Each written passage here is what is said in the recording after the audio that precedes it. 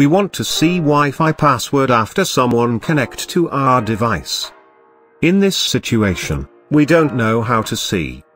Today, I will teach how to see connected Wi-Fi on your device. So, hello YouTube. Welcome to Green Tech Channel. Before starting the video, please hit subscribe to the channel and press the bell icon to notify every update of the channel. Let's begin.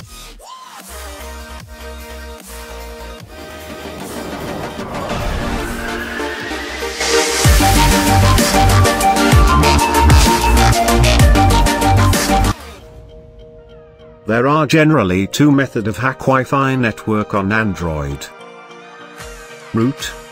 No root. Only few people root their device. Most of the Android device is no root.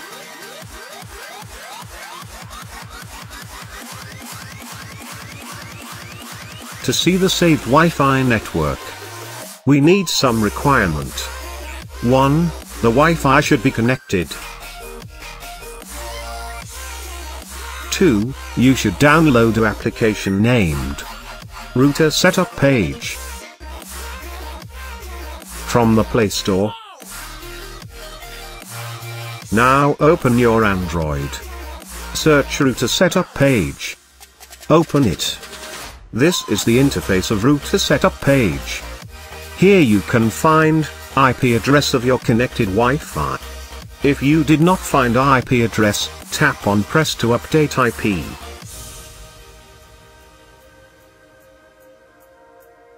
Then open router page. Then it will open your browser. Select your browser. It will open your router home page. To go inside the router, you need to have admin username and password. If you don't know your router username and password you can go to routerpassword.com. It will load the home page.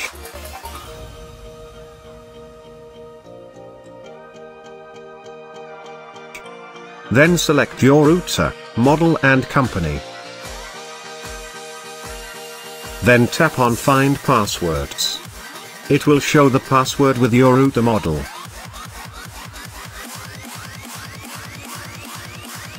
Copy it and log into your router page.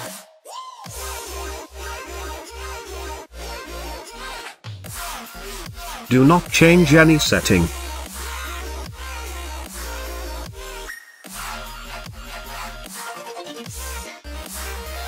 Then tap on wireless. Then security. Here you can find password with SSID.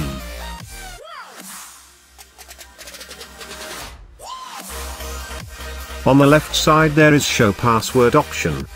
Tap it. Then the password is hacked.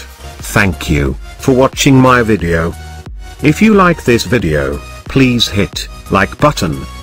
If you find any missing in this video, please comment and share it to your friend and relative. And don't forget to like our Facebook page, the link is in the description below. And also visit our website. Thank you. And see you soon.